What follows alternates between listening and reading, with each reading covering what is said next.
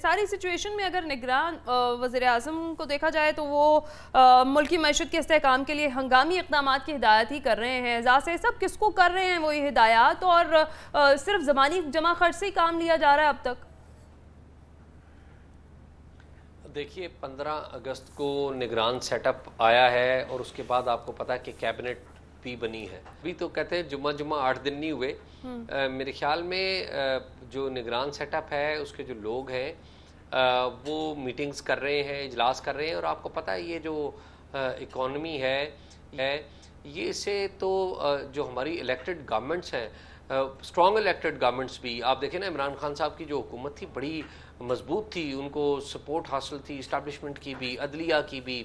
Bureaucracy की भी business community की भी तो वो भी बल्कि उनके दौर में जो मसाइल हुए, जो फर्दर एडवांस हुए जो इतिहादी हुकूमत के दौर में जो हुआ तो वो एक कंटिन्यूशन ही रही। कोई इसको रोक नहीं सका। उसकी बड़ी सिंपल सी रीज़न है। सिंपल सी रीज़न ये है कि आपके जो अखराज हैं, आपकी आमदन से कम है और आपने कर्ज ले रखा है, कर्ज को वापस भी करना है आपने। और अब सूरत हाल ये है कि वो डेफिसिट इतना ज़्यादा बढ़ गया है कि आपको अगली कर्ज के साथ साथ कुछ और इन्वेस्टमेंट्स की भी ज़रूरत है इंटरनेशनल वर्ल्ड से। तो ये ये तो को कर लेना कि interim prime minister Anwar Kakar आके कोई आ, मेरे ख्याल में आ, तारे तोड़ लाएँगे तो ये मेरे ख्याल में रियलिस्टिक बात नहीं है। ये एक्चुअल काम तो इलेक्टेड गवर्नमेंट करेगी लेकिन इंटरम जो सेटअप है अनवार काकड़ की सरबराही में वो जो मुमकिन हो सका।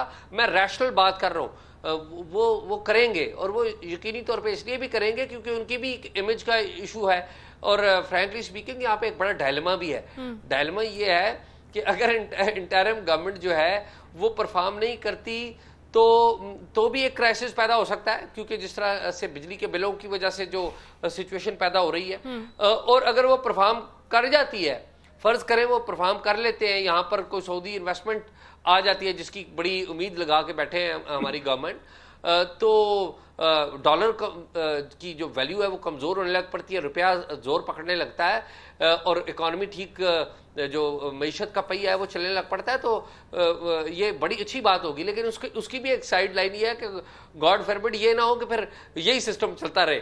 गॉड फॉरबिड तो ये जो बात सलमान आबद साहब ने की ना थोड़ी देर पहले और रज़ी भाई ने भी की।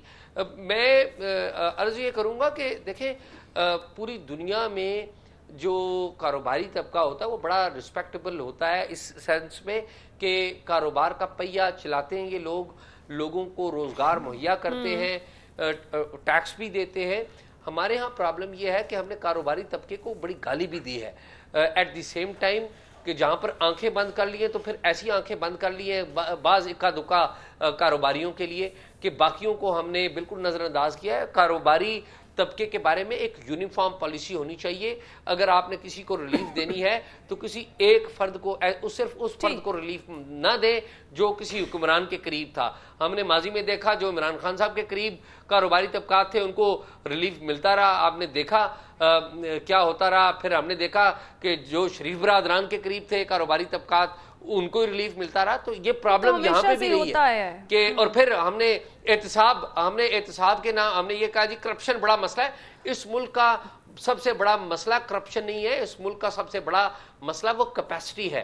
आपके अगर कैपेसिटी ठीक हो तो आप करप्शन हम्म। को भी ठीक कर लेते होते हैं कारोबार भी चला लेते होते हैं। तो मसला कैपेसिटी का भी है और दूसरी सबसे अहम बात है जिसका काम उसी को साझे।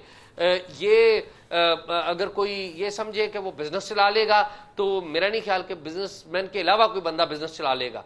और कोई ये समझे कि कोई अदालतों को चला लेगा तो वो अदालतें जजों नहीं चलानी है अच्छे बुरे वो जैसे और कोई कोई ये समझे कि पॉलिटिकल लोगों के बगैर पॉलिटिकल स्टेबिलिटी आ जाएगी तो ये भी मुमकिन नहीं है। पॉलिटिकल स्टेबिलिटी भी पॉलिटिकल लोग ही लाएँगे और ये उसी सूरत में होगा जब तमाम इदारे अपने अपने दायरे ठीक है।